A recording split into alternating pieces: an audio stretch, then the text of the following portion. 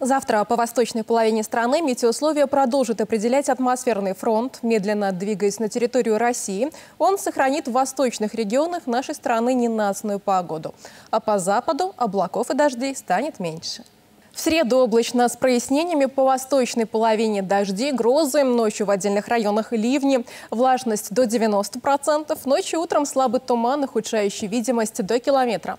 Ветер юго-западный, порывистый, при грозах сильный порывистый. Атмосферное давление ночью будет расти, днем существенно не изменится. Утром на столбиках термометров будет от 12 по западу до 18 по юго-востоку. С учетом влажности и ветра по ощущениям будет на 2-3 градуса прохладнее прохладнее. К середине дня температура воздуха по востоку поднимется до 21, а юго-восточные районы окажутся самыми холодными, там на 5 градусов ниже. Также прохладно по западу 17-18 градусов. К вечеру такая температура 17-18 градусов со знаком плюс установится по всей стране.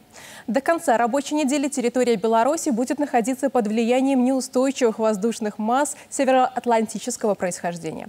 По северо-западной половине пройдут кратковременные дожди, возможны грозы.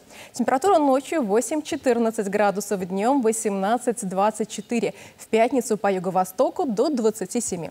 В выходные очередная система атмосферных фронтов вновь принесет на большую часть страны кратковременные дожди и грозы. И у меня на этом все. Еще больше о погоде не только в нашем телеграм-канале «Рябов ответит». Подписывайтесь.